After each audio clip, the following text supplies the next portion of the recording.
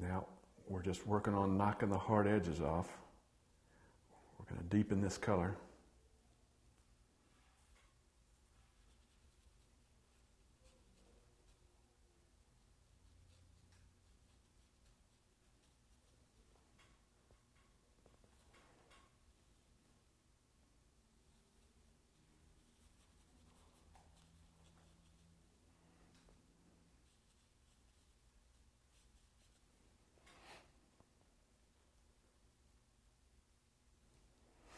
We're continuing to darken the color and continue working the way towards the back of the horse.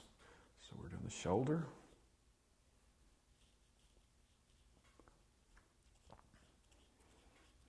And then behind the shoulder.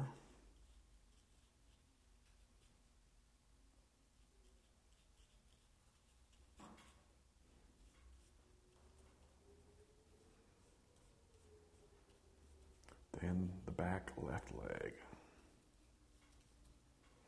of the horse.